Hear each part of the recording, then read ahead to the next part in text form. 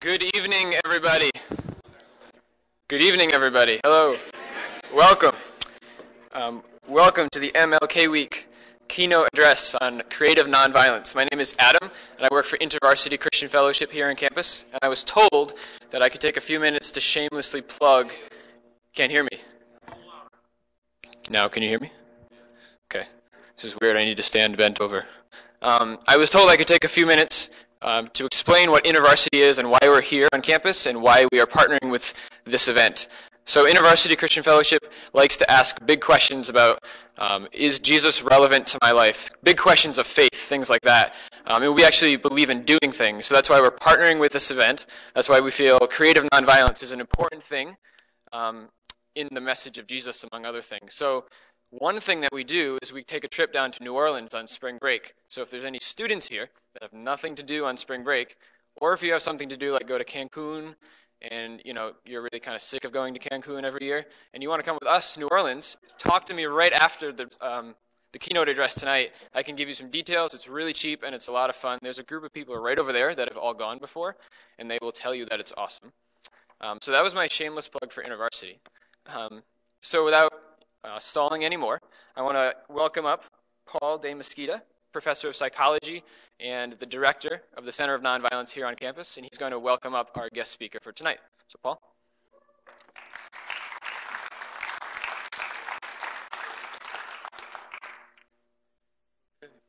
Welcome, everybody. Hello, everybody. you you better get ready for a really uh, dynamic and inspirational uh, talk by uh, Father John Dear uh, tonight. Um, we're very we're very blessed and, and honored to have uh, John Dear here, particularly on this uh, annual celebration of the university's Martin Luther King Week. Um, the Multicultural Center uh, InterVarsity Origins and the Center for Nonviolence and Peace Studies are so delighted to have uh, someone such as Father John Dear with us tonight. He's been on our campus speaking at our uh, Unity Luncheon earlier today, and uh, being on our campus has been quite special. Because we are all in favor of nonviolence and we are all in favor of peace, but few of us really walk the sometimes dangerous and courageous path to nonviolence. And we are so fortunate to have luminaries, leaders, and visionaries among us in each of the decades and the eras throughout history who have demonstrated not just the idea of peace or the idea of nonviolence, but who have actually stood up to enact what nonviolence is. And John Dear is certainly in that category. John is a Jesuit priest, a peace activist, an organizer, an author, a lecturer. He has written over 25 books on peace, justice, and nonviolence. And I would encourage all of you before you leave to uh, to take some time to peruse some of the works that he's brought with him, uh, and uh, perhaps uh, there's an opportunity for you to, uh, you know, engage with him at the end of his talk. From 1998 until December 2000, he served as the executive director of the Fellowship of Reconciliation. The Fellowship of Reconciliation is one of the world's largest interfaith peace organizations. From 2002 to 2004, he served as pastor of several parishes in northeastern New Mexico. Currently, he coordinates Pax Christi, New Mexico. He lectures to literally tens of thousands of people each year across the country. After September 11th in 2001, those attacks and tragedies involving the collapse of the World Trade Center, so many leave, losing their lives, Father Dear began volunteering as a Red Cross chaplain. He became one of the coordinators of the whole chaplain program supporting the victims and families.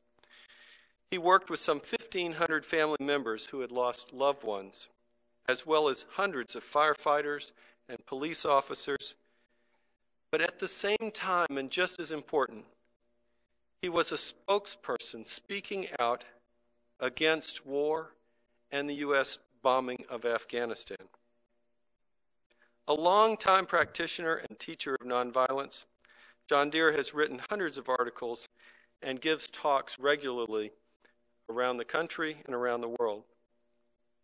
His work for peace has taken him to places such as El Salvador, where he lived and worked in a refugee camp in the mid 80s, to Guatemala, Nicaragua, Haiti, the Middle East, the Philippines, to Northern Ireland, where he lived and worked as, at a human rights center for a year, to Iraq, where he led a delegation of Nobel Peace Prize winners to witness the effects of the deadly, violent sanctions on Iraqi children.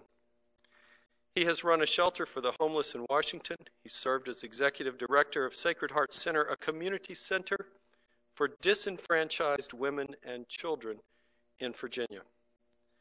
A native of North Carolina, Father Dear was arrested on December 7, 1993, at the Seymour Johnson Air Force Base in Goldsboro, North Carolina, for joining a small group of courageous nonviolence activists who were hammering on F 15 nuclear fighter bombers, risking their lives in this dramatic action of civil disobedience in an effort to literally beat swords into plowshares. Along with activist Phil Berrigan, he spent eight months in North Carolina jails.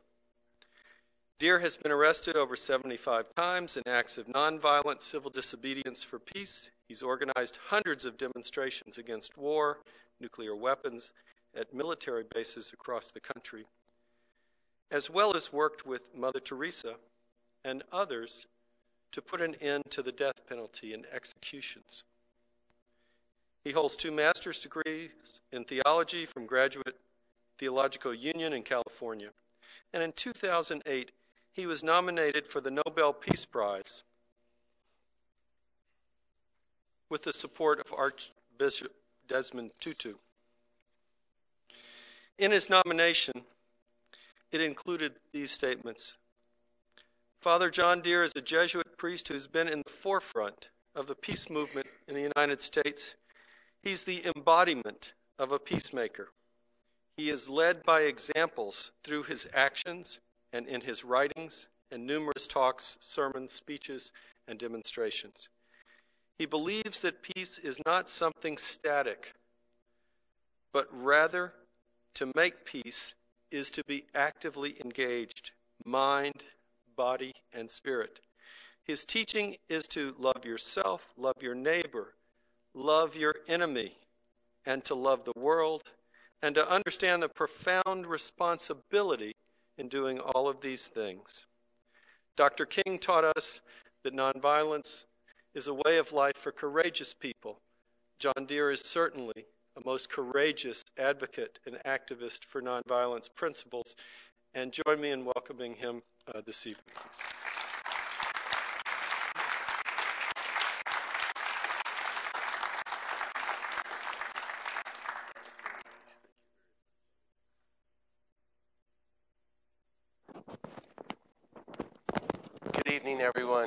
Thank you so much, Paul, for that warm welcome.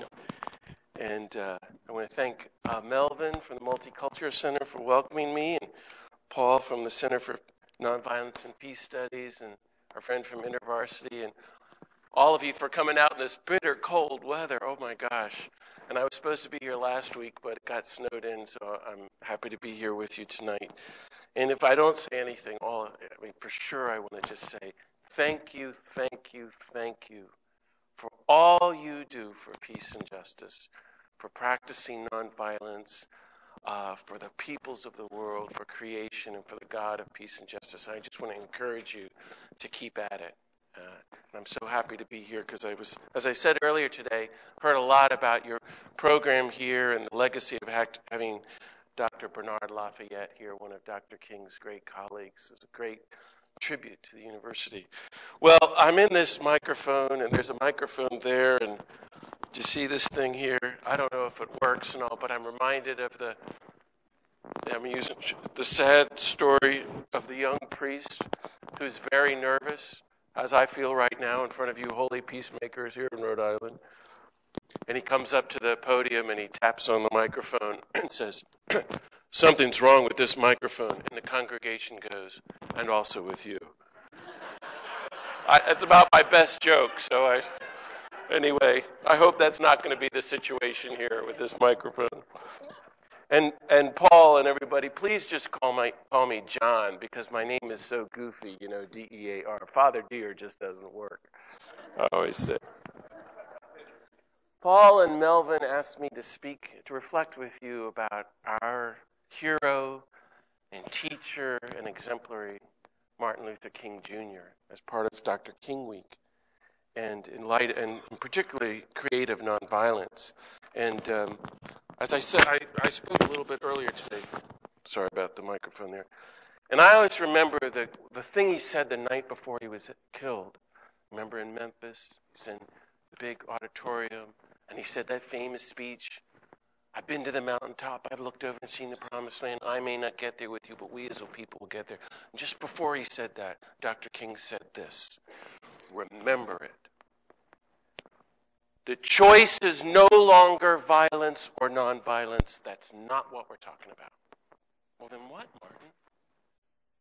It's nonviolence or non existence. Unless we all become people of nonviolence and the whole planet, we're doomed. Go read the speech. And Gandhi said the same thing in the many, many, many times in the last year of his life. Those are the last great words of our mighty prophet, peace and justice to us. And that's what we're seeing playing out now every day in the newspaper, rushing down toward non existence. But you and I are trying to wake up like he did and become people of nonviolence and teach it, and practice it, and welcome a new world of nonviolence. Isn't that fantastic?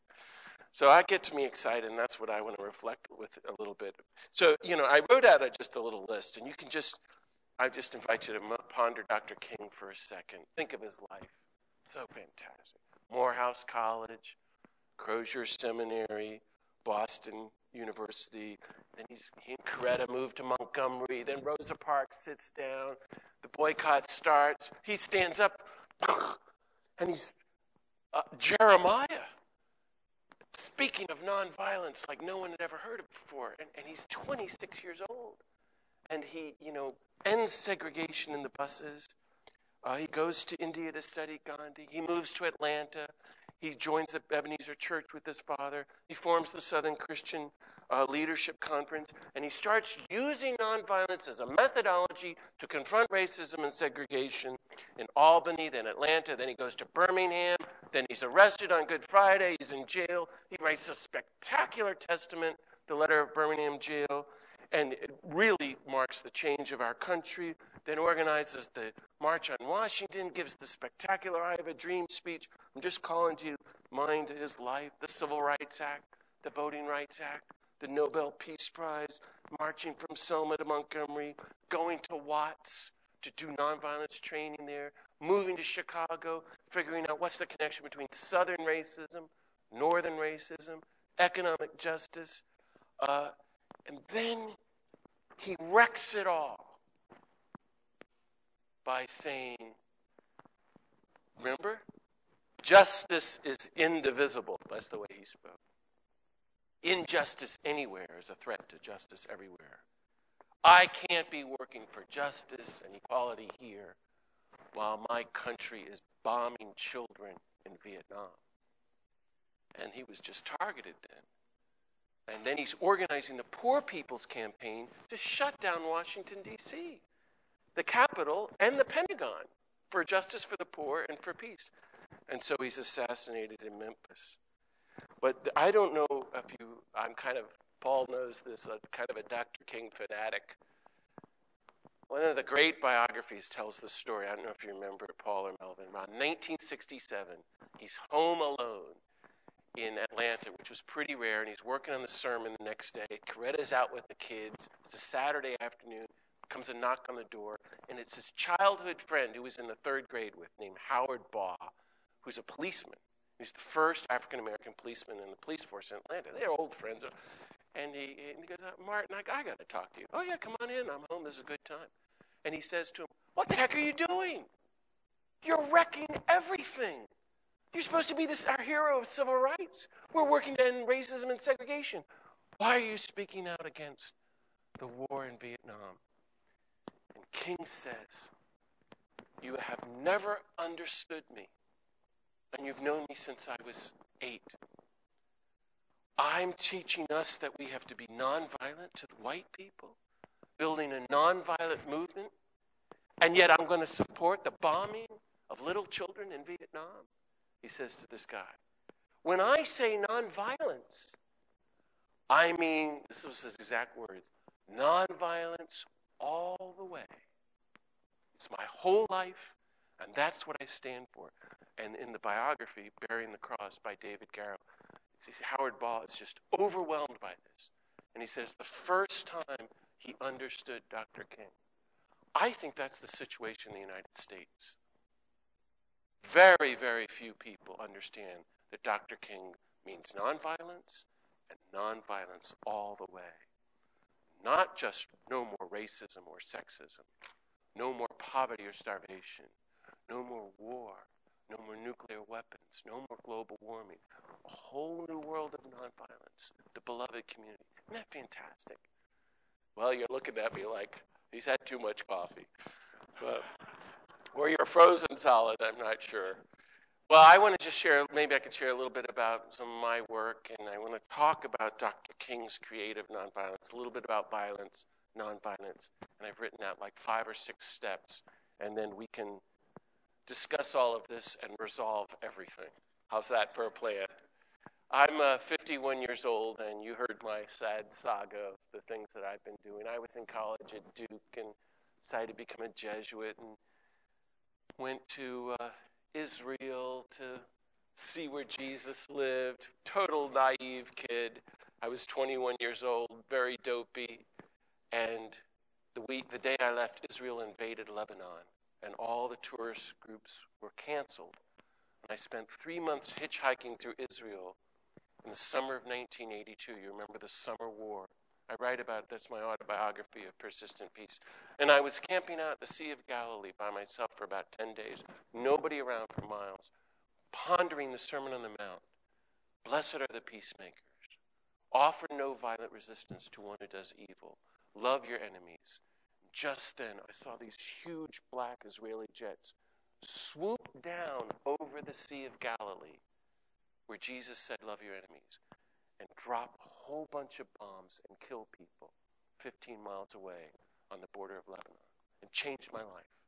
I thought, oh, this stuff that Jesus talked about is serious. How do you do that? I turned to Dr. King and Gandhi and Dorothy Day, and like you, joined all the peace and justice groups. My journey is my journey of nonviolence and working for peace has taken me all over the world, war zones of the world, organizing demonstrations, teaching nonviolence, trying to practice it in every which way I can, speaking, writing, speaking to the media, politicians. But Gandhi says at some, some point you have to you do everything you can legally and then you cross the line and break the laws which legalize mass murder in your name.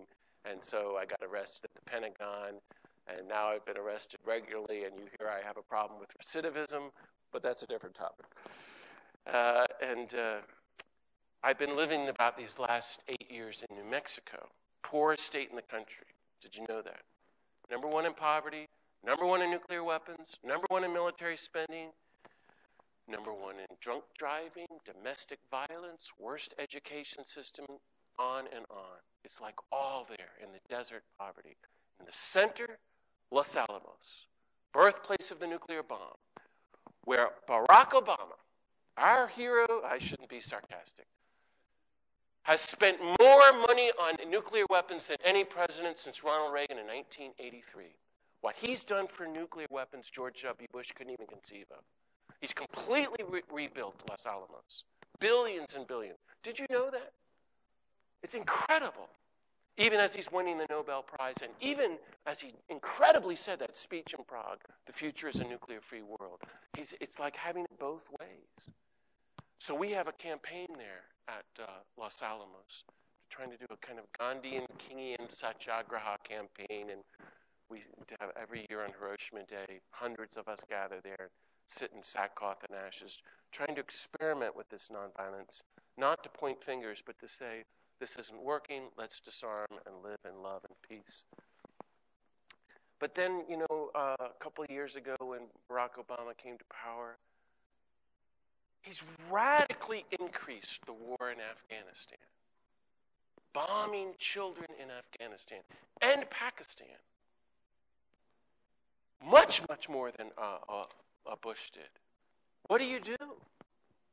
Archbishop Tutu and I came up with a plan to go and meet privately meet with President Obama.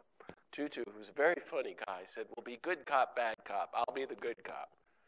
You're the Jesuit." So anyway, I'll let you. And we were going to talk to him about Afghanistan. Well, that was at the very last minute. The White House canceled that and I'm supposed to be a practitioner of this stuff. You know, we can't just study it.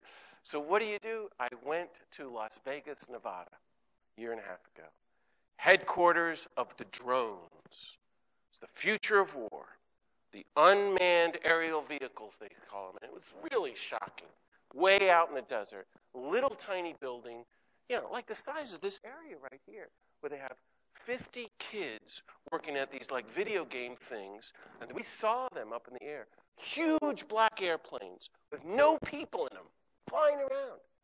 What do they have?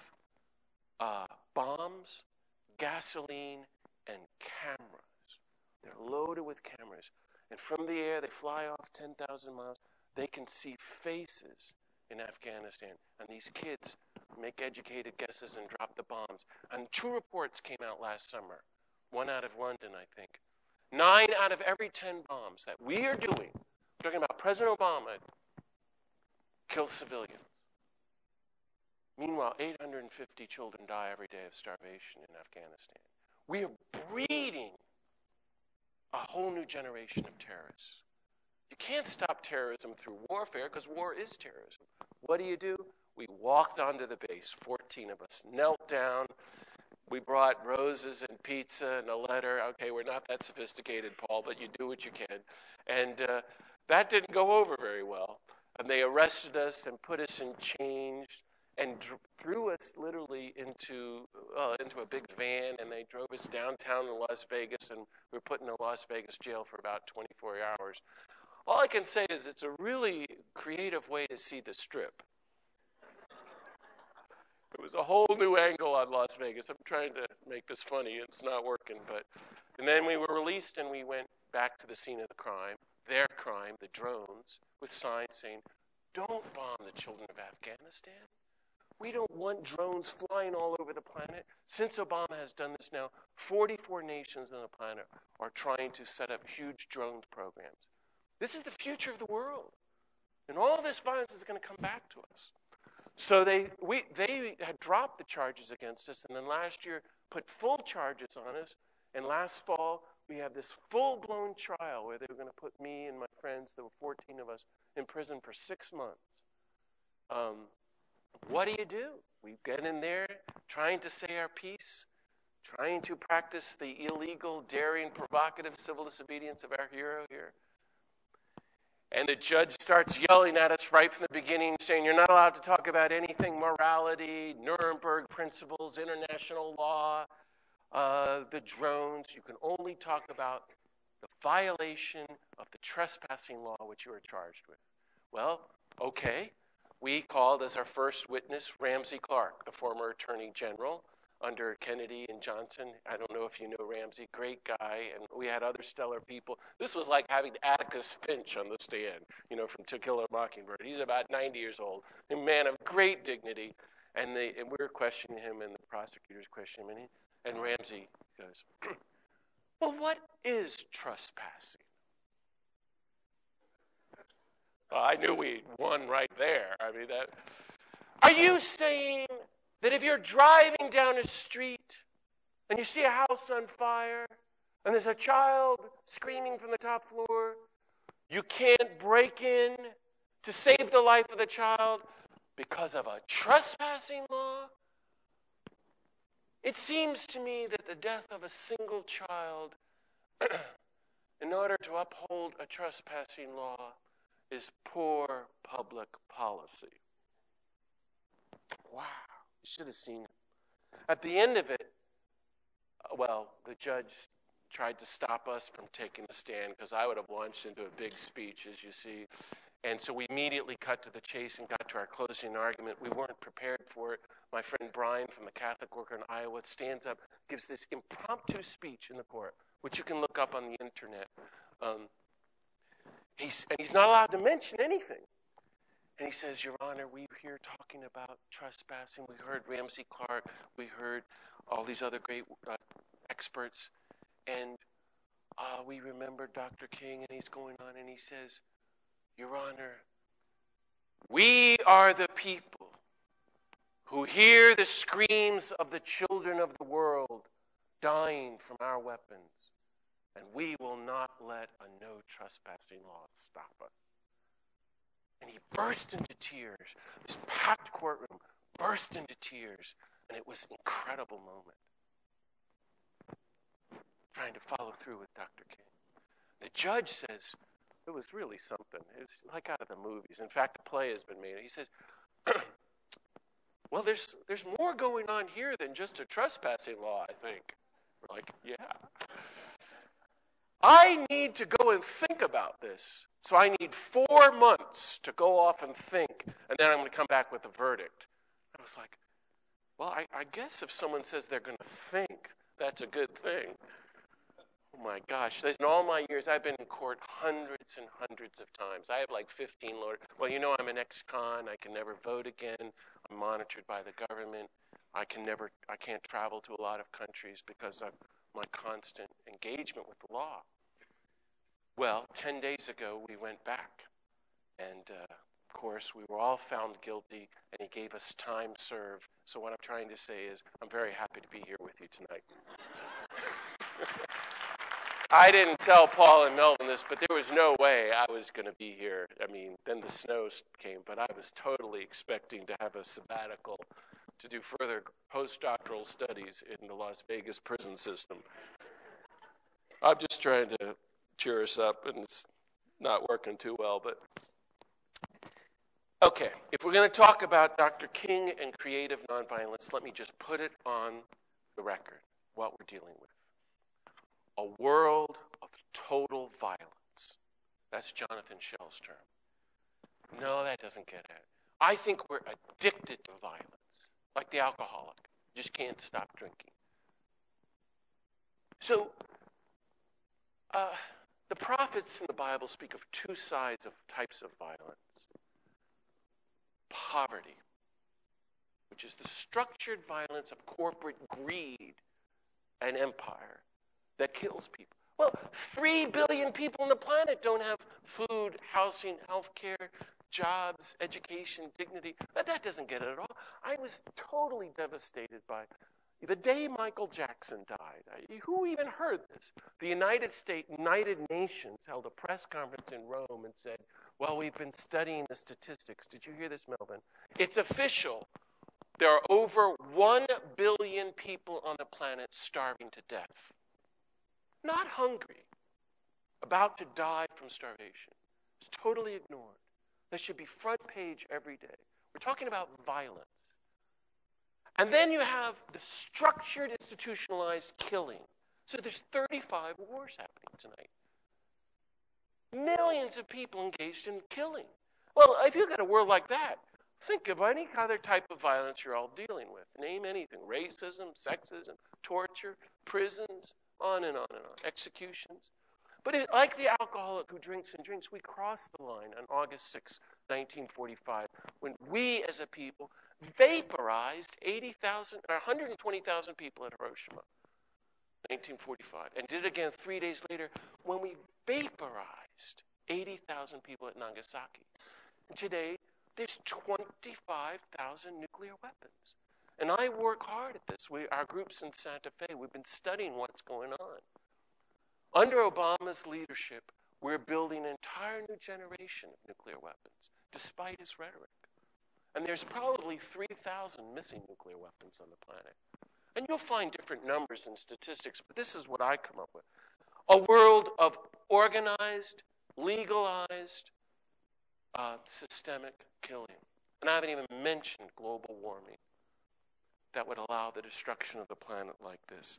But, you know, coming from my tradition, from Dr. King's tradition, what's so shocking, you know, okay, you could say we're we're addicted to violence. The violence is inside each of us now. We just think to be a human being is to fight back and be violent. We're so ingrained in killing and violence now that it's now, are you, are you ready? It's our spirituality. God is violent. Violence saves us. Might makes right. Nuclear weapons are our only protection, as the Archbishop of New Mexico recently told me. We can't do what Jesus said. That's all we've got. The good news is not love your enemies and reconcile with the planet, but we get to take everything for ourselves and be number one. And you may have to kill some people in the process. And this is God's will for us as a people.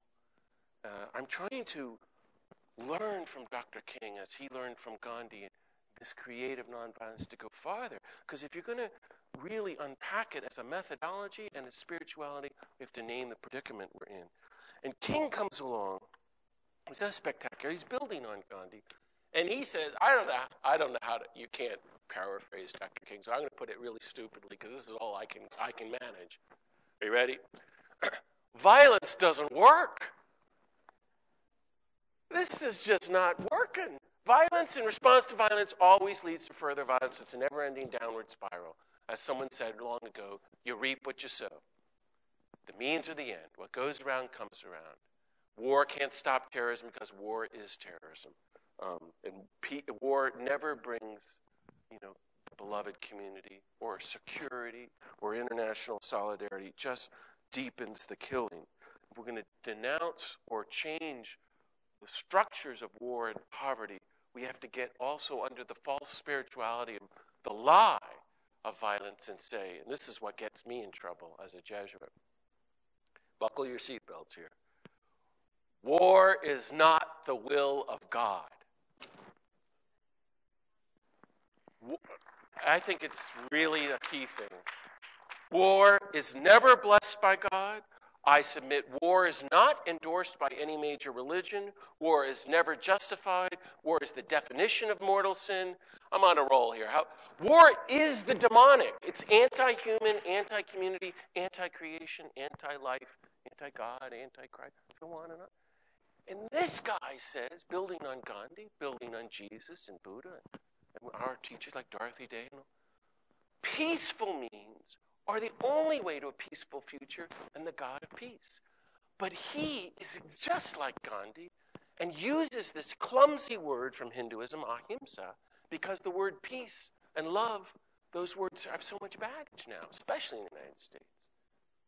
Nonviolence.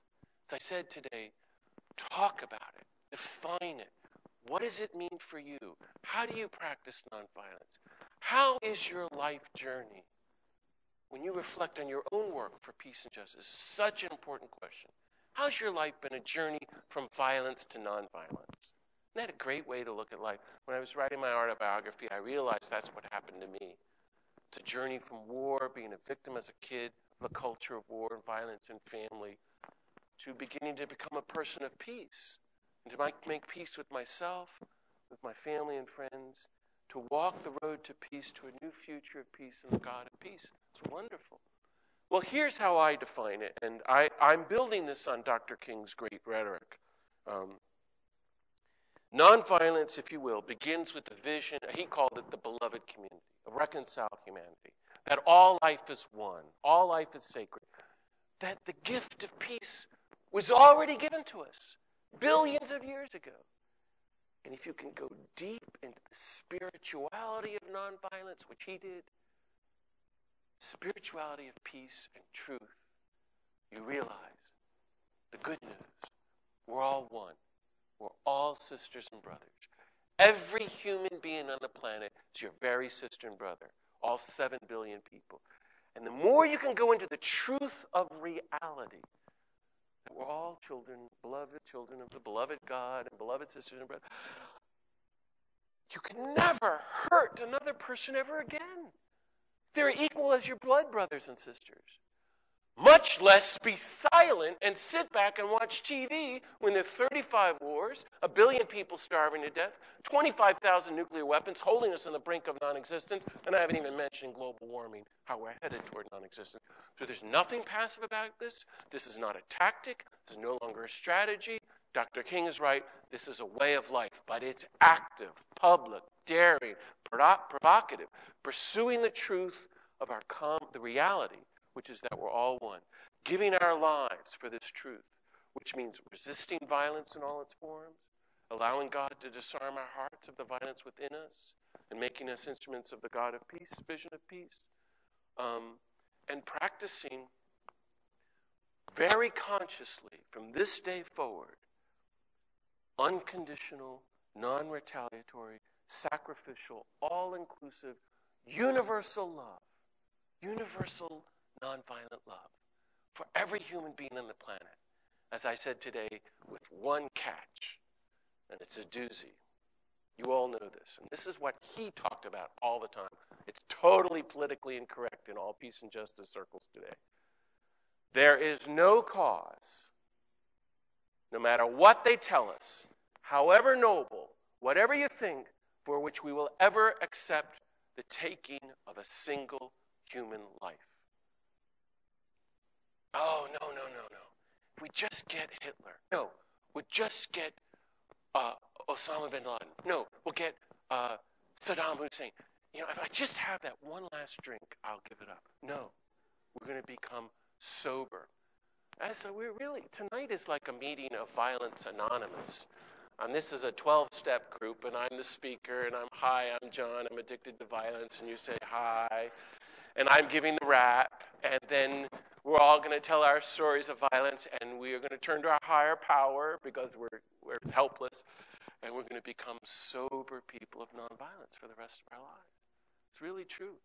No, not only are we not going to kill, we are willing to give our lives to be killed In his language. We are willing to accept suffering in pursuit of the truth of our common unity without a trace of the desire to retaliate with further violence. The violence ends here. Gandhi says this nonviolence, Stephen King gets it from, is more powerful than all the weapons of the world combined because it's the way of God. If you can go deep within, it can be a spiritual explosion. So the point is, you're going to be nonviolent to yourself. Really, I, I, I'm friends with this great Buddhist teacher. He's been a great teacher of mine, Thich Nhat Hanh. And he says, he just he, say, he says it so beautifully. Just look deeply within. When you're driving down the street and you want to run over that, I mean, we're all for peace, of course. But there's someone we really want to get.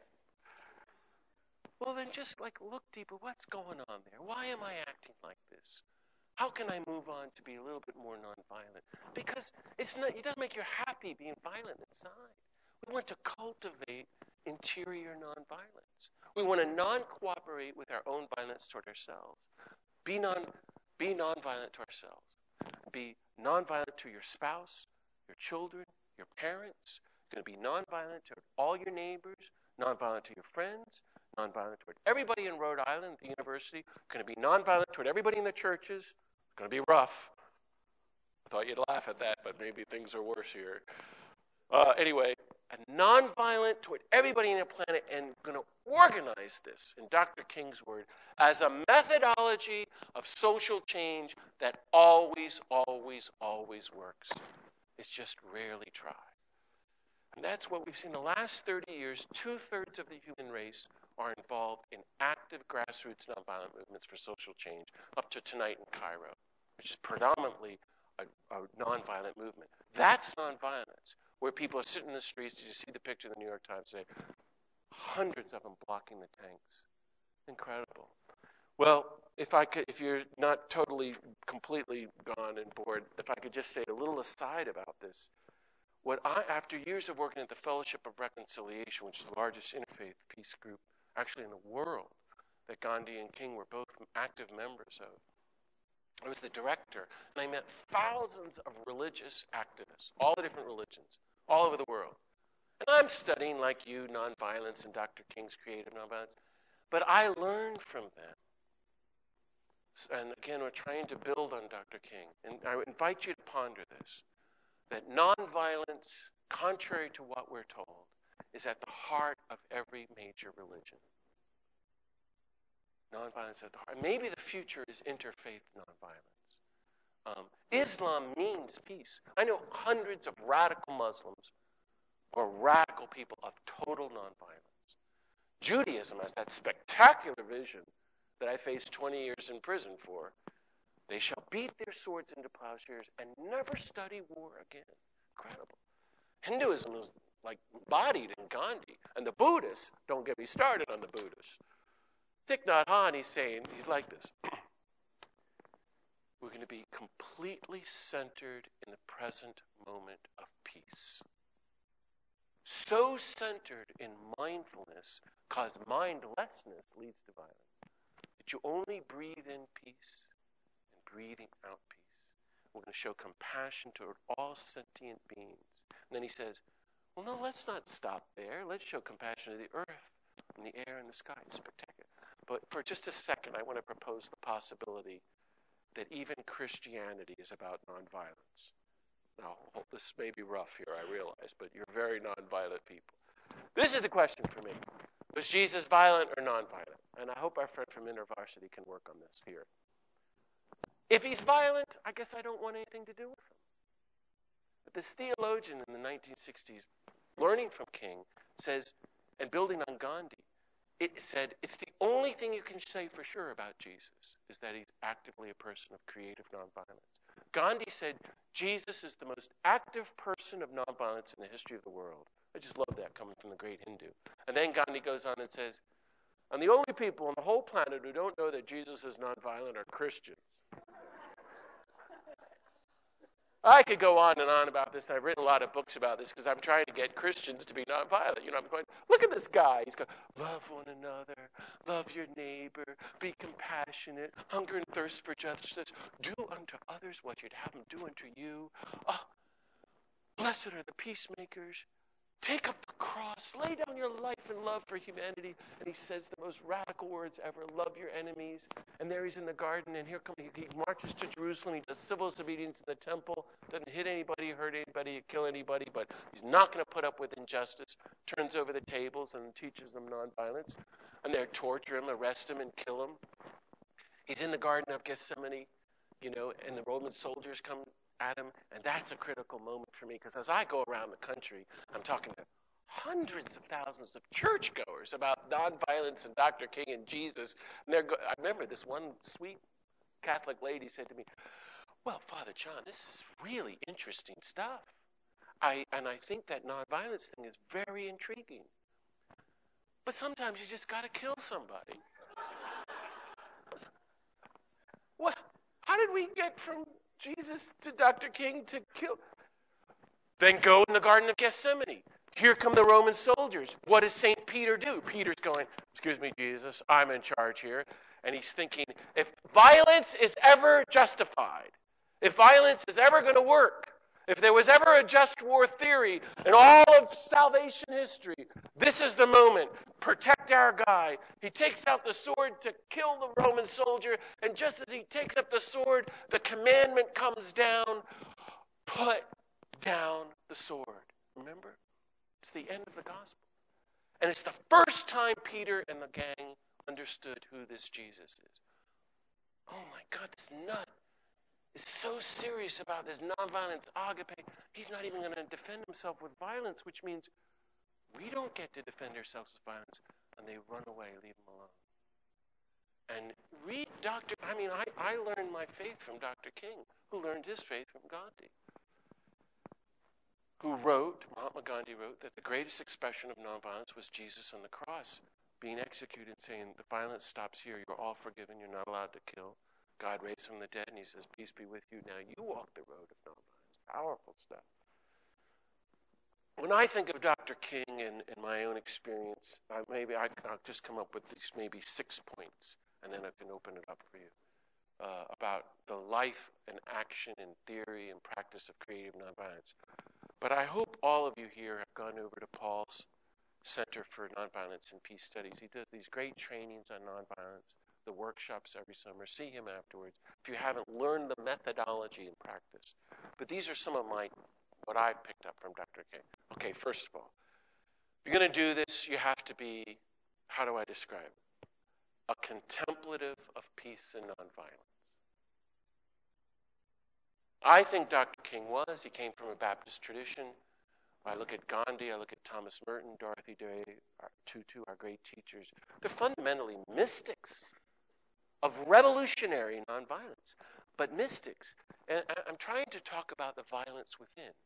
And, the re- and they take time to meditate, I would call it, very simple, quiet time, solitude, to enter into peace and to dwell in peace. And the reason nobody likes to do that anymore is because the minute you go into prayer or meditation, whatever you call it, contemplation, all your junk comes up. And you don't like to sit with yourself because we're all so violent. We're addicted. And you're like, hey, I got I'm a busy, important person. I gotta get out of here. Or I, you know, or like I really hate my mother, or that kid in the fifth grade, or the president, or the Pope, or somebody. We hate somebody. That's the good stuff. That's the stuff to pray over, to look deeply at the violence within. And friends, if I, st- I study Dr. King, I say, if you want to be a person of peace and nonviolence, you have to let go of your violence, your anger, your hurts, your wounds, your bitterness, your rejection, all, all of that, all of that. Give it to your image of the God of peace. And let the God of peace give you the gift of peace that, like Dr. King, we can radiate personally the peace we seek politically. That we can be mystics, a new kind of holiness like him. That your mere presence is a threat to the empire because we're so disarming and we're no longer afraid. Because what happens, I'm speaking now as a Christian, but you get to know God. And the culture is saying God is a God of war a God who blesses injustice, a God of vengeance, a mean old white guy who can't wait to throw you in hell, or at least let's hope them. And that's not it at all. God is the God of peace and nonviolence. The scandal of Christianity is that God is nonviolent. So, how do you, I'm talking about integrate your spirituality with the nonviolence of Dr. King. Is your God nonviolent? Do you worship a God of peace? This was a very important question for Gandhi and Dr. King. How does faith interact with the peace and justice movement? Secondly, we have to be people of meticulous personal and interpersonal nonviolence. And Dr. King was, and Gandhi was, and we can investigate them, you know, down to every moment of their daily lives, and that may be good. But how about ourselves? Really being nonviolent toward ourselves, our family members, our coworkers, everybody we meet. And that's really hard work, I find. And it means there's learning tricks to do that and to be very mindful and attentive. Third, I'd say we all have to be students and teachers of creative nonviolence. Study the methodologies and then teach it and use the word in your workplace, in your churches. That's why I like this university as a Center for Peace and Nonviolence. Um, my thought at the university I've been talking with Paul is that's the whole point. It should be a training camp, a school of nonviolence. Certainly, any Christian school should be in the United States or anywhere in the world.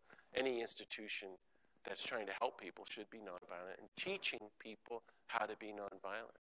How are you a student and a teacher of nonviolence? Very important.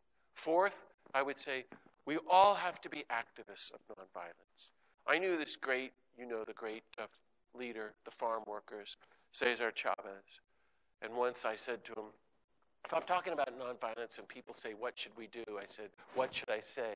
And he said, without missing a beat, he went like this Tell everybody Public action, public action, public action. That sounds like Dr. King. Get involved. Do something publicly and actively to engage, experiment with nonviolence. Well, many of you may have been activists, and that's great. And I invite you to reflect on what you've done and how does what sustains you and how can you continue.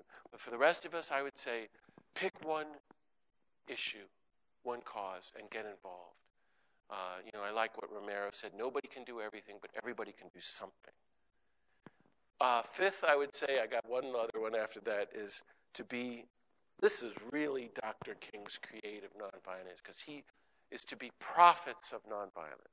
So I'm activists, teachers, you know, contemplatives, personal, interpersonal nonviolence, but a p- prophetic people in the sense of speaking out in the name of truth or the God of peace, the good news of peace and nonviolence, and that means denouncing injustice.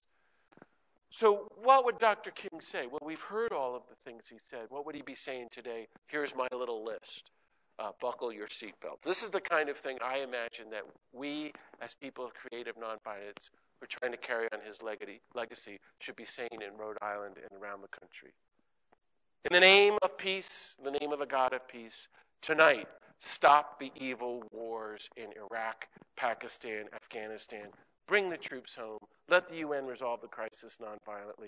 Make massive reparations. Stop the militarization of the Middle East. End all military aid to Israel to, so we can stop the occupation of the Palestinians and support nonviolent Israeli peacemakers and Palestinian peacemakers and lift up the Jewish vision of shalom. Welcome every immigrant to the country. Support the undocumented. Stop U.S. military aid to Colombia and all the wars around the world. Close the terrorist training camp in Georgia, the School of the Americas. In fact, close the 125 other terrorist training camps. And close the 740 military bases around the planet and while you're at it, close Los Alamos and just close the Pentagon and the CIA and the NSA. Close them. Leave the World Trade Organization. Lift the entire third world debt. House the world's homeless. Give away free medicine to anyone with AIDS and HIV. In fact, just give away free universal health care. Abolish the death penalty. Undertake treaties for total nuclear disarmament. Join the World Court. Obey international law. Sign the Kyoto Accords. Find alternatives to fossil fuels. Stop global warming. End the Star Wars budget, a program. Cut the entire military budget. Abolish the 25,000 nuclear weapons to every handgun. And then take the billions and billions and hundreds of billions of dollars and feed every starving child and refugee on the planet this weekend. And with the infinite money left over, begin the healing process and educate every person on the planet in Dr. King's methodology of nonviolence. What do you think of that? That's what we've got to be saying. My last point is just when, when I think of Dr. King, I, you know, standing there at the Lincoln Memorial, gosh, I know there's so many other speeches I think were more important. When he's saying, I have a dream, we have to be like this dreamer visionaries of creative nonviolence. One of the casualties of a culture of war, addicted to violence, where it's legal to have 25,000 nuclear weapons. It's legal to allow catastrophic climate change to be upon us. This is perfectly legal. A billion people to starve death, totally legal. One of the casualties of this sick, sick, sick culture is the loss of the imagination. You walk down Providence and you could say, Can you imagine we're going to abolish all war and nuclear weapons? They're going to say, What are, drug are you on? What have you been drinking? They can't even imagine it. I, as I, today, I, I spoke of my heroes, and they have a long history in New England, the abolitionists. That's what they did. Imagine these incredible people 200 years ago saying, This is my imitation of them. Excuse me, United States. We are announcing the abolition of slavery. And read their lives. They, they, people laughed at him and said, Are you insane? There's always been slavery. It's in the Bible. Some people aren't people. And they said, No. A new world is coming. A new world of equality, a multicultural world. To put it simply, And they lifted up this vision that was impossible. And they gave their lives for it. Friends, we are their ancestors in our work for peace and justice. We're new abolitionists. We're going beyond our hero. And we're going to stand up and say, Excuse me, Rhode Island. Excuse me, Mr. Obama and the United States. We are announcing the abolition of war and poverty and starvation and executions and nuclear weapons and global warming. And I talk this all this way, and people say, "Well, you're totally insane." I say, "No, a new world is coming, a new world of nonviolence."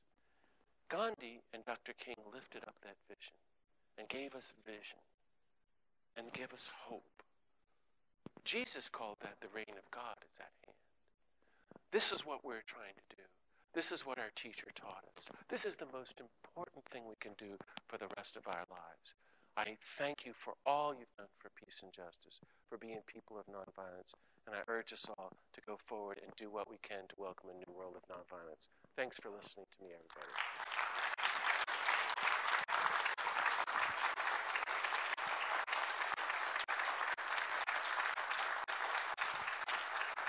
Well, if it's okay, Paul, we'll have a little bit of time for question and answer. Paul said we have time for rebuttal. That was a joke too, but my jokes aren't going over. Melvin, you want to start us off? Okay. Melvin Wade, the director of the Multicultural Center. Real loud so everyone can hear you.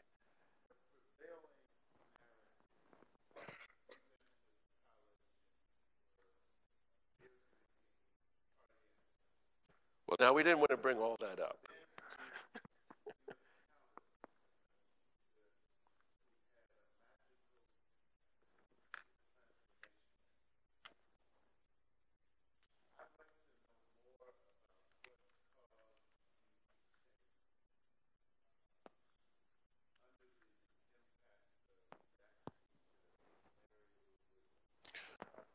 Did you know Mary Lou, or do you know of her? She was a jazz pianist. Well, you know, thank you. Uh, that's in my book, my autobiography. I went to Duke University in the 70s. Well, I think, though, just to cut to the chase, Melvin, like yourself, I've had incredible teachers in my life. And at some point, I realized, uh, like the East, under Hinduism, Buddhism, that whole religious tradition is you go and find a guru a teacher. That's what they called Jesus. You're a disciple means student. And you sit at the feet. And we don't have that in the United States anymore. And so then, when I after my those experiences, I went and sought those people out. And you can read. I'm a, as you see, I'm a big name dropper. I mentioned Jesus at the drop of a hat. No. I, I after my experience at Duke and once I entered the Jesuits, I thought, well, who are the greatest people in the world? I'm going to go and meet them and sit at their feet and learn the lesson. And I did. I met everybody. And uh, I'm still on that journey to learn. But, you know, I, I, did have an incredible experience at Duke University. And I was going through a great turmoil. I was grew up in a wealthy Catholic family from D.C. and North Carolina. Went to Duke. Uh, decided I was so appalled by the Catholic Church, I was going to leave that. But to be on campus, you have to be a wild fraternity kid. Then I thought, well, if you're going to leave the church, you might as well forget God. That's ridiculous. So that's a good idea. And I'm just going to be as wild and crazy as I could. And I found that made me very unhappy.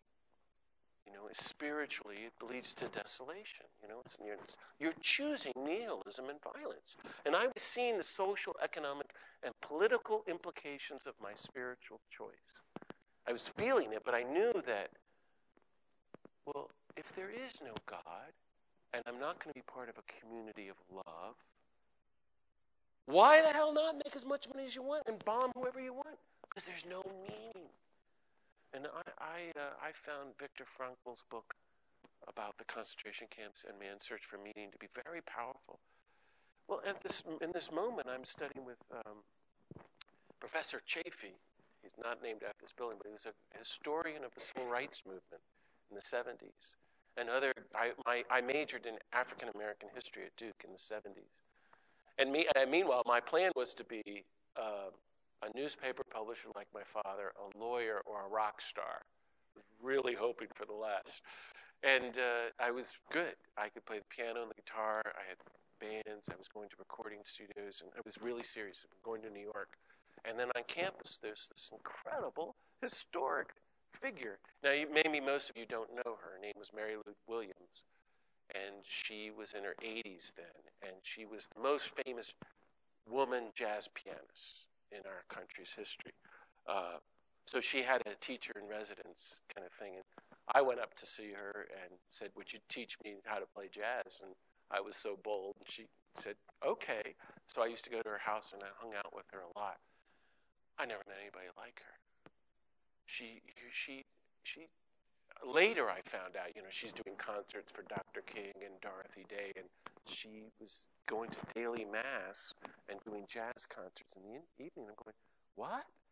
And she's trying to break all the barriers. And she says, I'm using music to teach love. And she was just probably the biggest heart I've ever encountered, like Mother Teresa.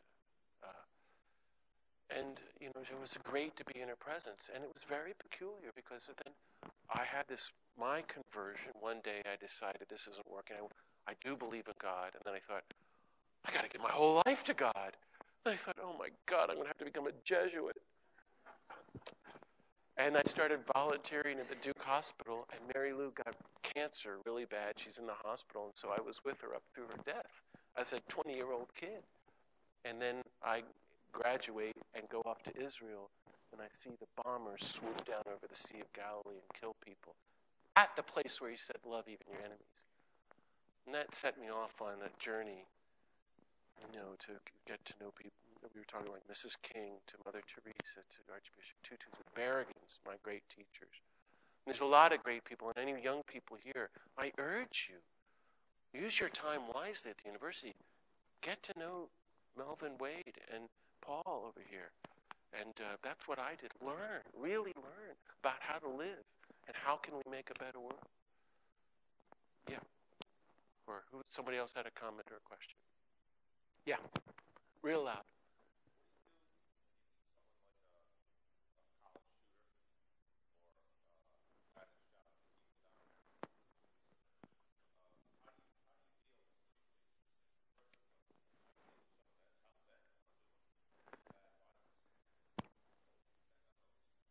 How do you deal with them?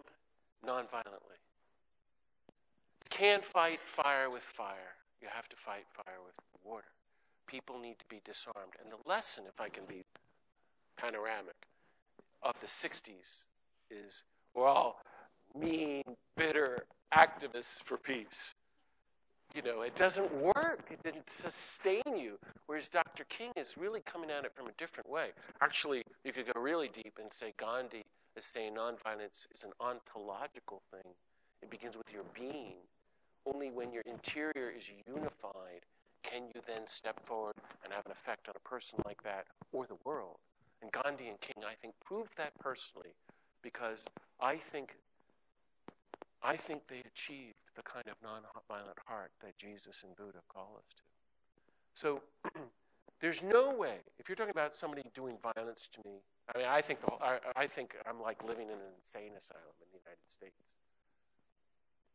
I think we're all insane with violence. We want to bomb and kill people all over. I, where I live on a mountain near Santa Fe, I look out at Los Alamos, and 20,000 people, more millionaires than any place on the planet, more PhDs than any place on the planet, spend all their energies building weapons to vaporize millions of people. They're actually the race is on to find the next the thing after the nuclear bomb. I mean, I could really scare you with. I, I've been studying what they're actually doing. So, those people frighten me. Our politicians frighten me. They're the mass murderers. You know, the people. I don't. And when I thought of Tucson, and I've been there many times and spoken to huge crowds on nonviolence there, I, I think I don't know why that doesn't happen every five minutes in the United States. It's a miracle that we're as nonviolent as we are. But if you're talking about meeting somebody like that who's going to challenge you or threaten you, there's no way you're going to, first instinct is going to be nonviolent unless you're doing your work. That's why you've got to train in nonviolence, like Paul does these workshops. You've got to study it. Ponder Dr. King. Get with a little peace group. Do your prayer work. Work on disarming your heart and figure out, okay, how do I nonviolently intervene? How do I disarm somebody? Now, a lot of my personal journey with you when I was a kid was I thought, I have to put myself in the most violent places because I've done all my homework, but I don't know how to do this. So I went right into the worst war zone of El Salvador to live under the direction of the Jesuits who were later assassinated. It's a powerful thing to have known incredible martyrs. And, you know, when the death squads came through, the theory was we'll send out me and another young white gringo Jesuit, and hopefully they'll kill them, not us. That's what the refugees were. So I had to learn your stuff real quick because I met the Salvadoran death squads in 1985, and they had machine guns aimed at me. And, I, and what do you do? I'm like, Hi, how are you? I'm John. Uh, can I help you? You need anything? What's that thing you got there? And you be humorous and you be nonviolent and you be disarming. I didn't use the word enough, but what Dr. King said is that nonviolence is infinitely creative. Where violence is always the same old just kill them. And it's just the infinite spiral that goes on and on. I, I can go on at length about this. I've written about this, and there have been many great books about, you know, uh, intervening with somebody threatening to do violence, or somebody who's gone insane, like the kid in Tucson. I mean, that's a societal question that uh, we we allow young people to go so crazy. I mean, he needed so much help. Um, we should be every school, every city should be training all our young people in nonviolence. But why? Why? I mean, if you're all for violence, we're all for violence. Well, why shouldn't we just massacre people? We're doing that in Afghanistan. We're doing it in Iraq. You got a billion people starving to death. Are they any different from Tucson? How much do you want to know about Tucson? Did you know that there are 850 unnamed bodies in the morgue about a mile from that shop, Safeway shopping center of immigrants who were found in the desert. Last year, I spent a week walking illegally on the border with a group of friends who broke the law. It's incredible countryside. Leaving um, maybe 40 gallons, one individual gallons of water under certain secret cactus uh, where the, the, there's about a thousand people who cross that section of the border south of Tucson every night, and they they have about I don't know if it's 50, 100 people die every year now in the desert. Uh, how will all one? Everybody's got to be taught. I don't know if this gets to what you're asking at, but something like that. Uh, always, always, always respond to everybody with every situation through active, creative nonviolence. And I submit, King says, nonviolence works. It's just rarely tried. Yeah.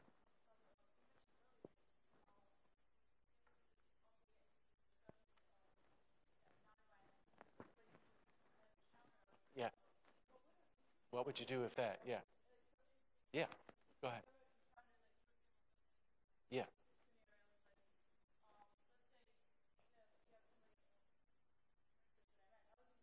Mm-hmm. Yeah. Yeah.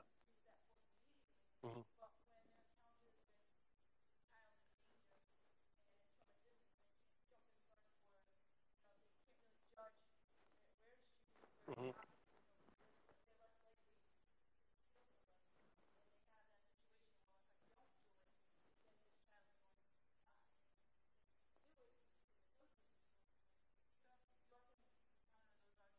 All the time, and I've been in Iraq, and I've been all around the world, and we're all up to our ears in the military. And my message is always don't join the military, quit the military, don't get killed, and don't kill anybody.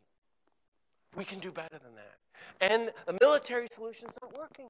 100 million people killed from war in the last century, and we're leading toward the brink of total non existence. This isn't working. And Gandhi and King propose a methodology to resolve international conflict that actually works. You heard that I lived in Northern Ireland. I was there. I saw how the Good Friday Peace Agreement worked. It's ending the troubles in Northern Ireland. And Clinton is over there saying, bombing doesn't work. Terrorism is not the answer. And I was said to him, well, now let's apply that to the whole world. Stop bombing Iraq. Anyway, uh, well, with these questions, I mean, in that scenario, and when I was in Iraq, I always tell everybody to quit. And you can read the what the climax of my book was one day in my parish in the desert of New Mexico. I woke up, and the entire National Guard unit, the battalion for northeastern New Mexico, was marching. I lived in a three-block town. Was marching around my block with the church, the big old church. And I live in a goofy old rectory, hundred-year-old building, in the middle of the desert. And they're at 6 a.m. They're shouting and chanting these 75 young soldiers leaving for Iraq the following week. They're, they're fighting. So swing your gun from left to right. We can kill those guys. I woke up the whole town. I thought, oh, they're just trying to get support as they go over to kill. No! They were trying to get me. And after an hour of marching around the town, the whole I, I looked out the window and all 75 soldiers were right up to my front door shouting the battalion slogan, one bullet, one kill, and it sounded like kill, kill, kill. This is the future of our country. I mean, having a, a unit of our military march on the home of a private citizen, not just the pastor of the local. This is like you'd expect this under Mubarak or Pinochet. Michael Moore called me and was going to put me in this his office, going to put me in this movie he was making, Fahrenheit 9/11. What do you do? I walked out into the street. I thought I was going to be killed, and then it turns out that the the uh, heads of the guard had or, had organized all their young people to come and get me for speaking out for peace. And I launched into a big speech. I said, "Excuse me, in the name of the God of peace, don't go to Iraq. Disobey orders. Don't get on that plane. You don't have to kill. I don't want you to kill. I don't want you to be killed. You're not meant to kill. We're called to be nonviolent. And by the way, God wants you, Jesus says, to love our enemies, to love the people of Iraq, our sisters and brothers. And waging war is not the way to peace. And you don't want to kill one baby. So go home. God bless you. And they all looked at me like, and then they burst out laughing. So, and that's been my whole life is telling people not to do that. And I could tell you stories of intervening as well if you just real quickly, so if come, you're, you're saying, well, what about? I used to get this. What about someone's got a gun and they're going to attack your grandmother? So here's my grandmother. I'm here. Here they come with a gun. Well, wouldn't you shoot him?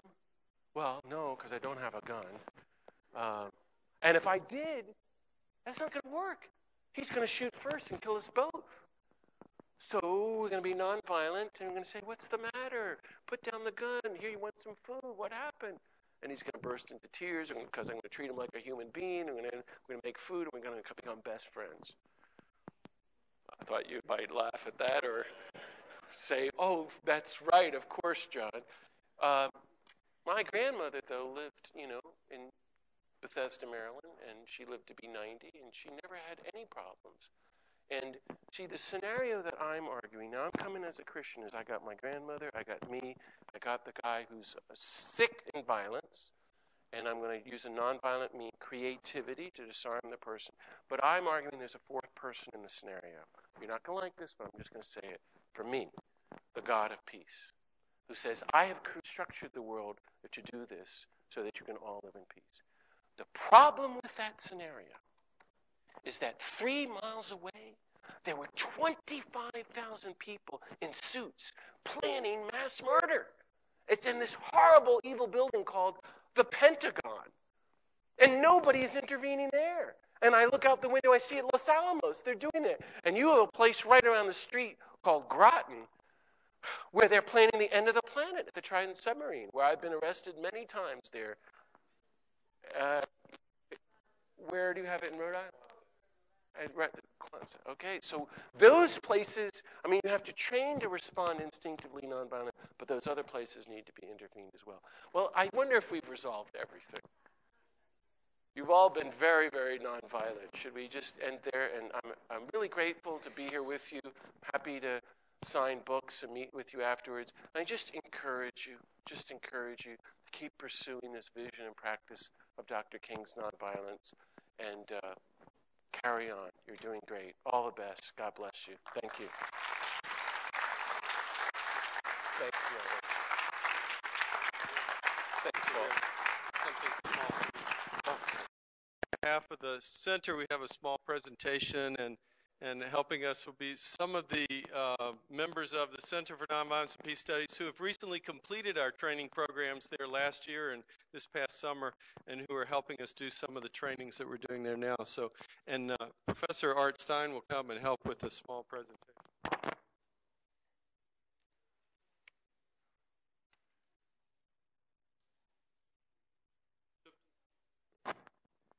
Okay, and Geshe Dupten Tindar, um, who's joined our center, uh, Tibetan Buddhist, will also.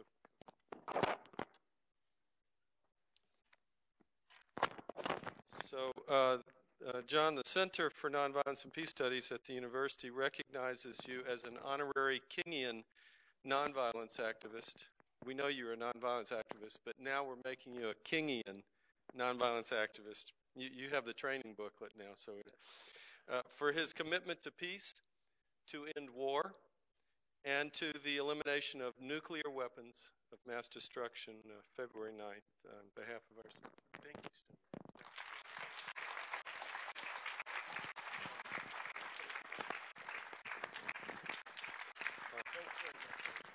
Uh, Geshe Tupten Tindar has something in the, I believe it's in the, he'd like to present to you.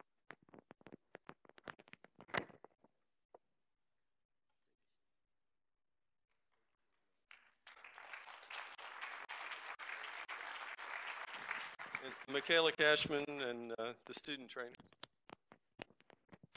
Father John would like to say, on behalf of the Student Nonviolence Involvement Committee, that we found your speech tonight both inspirational and uplifting, and would like to present you with this shirt from our center as a thank you.